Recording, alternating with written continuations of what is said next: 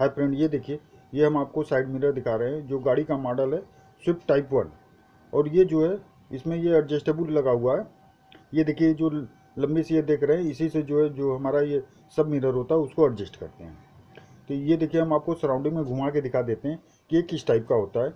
अगर आपको कभी भी साइड मिरर की ज़रूरत हो, या जैसे लेफ़्ट साइड हो, या राइट साइड हो तो उसके लिए आप जो है, नीचे दिए हुए कॉन्टैक्ट नंबर और व्हाट्सअप नंबर पर आप कभी भी कॉन्टैक्ट कर सकते हैं। और इसको जो है हम लोग अधिकतर होलसेल रेट पर ही सप्लाई करते हैं। इसमें बीच में जो है कोई भी मीडिएटर नहीं होता है कि जिससे इसका रेट जो है बढ़ जाए।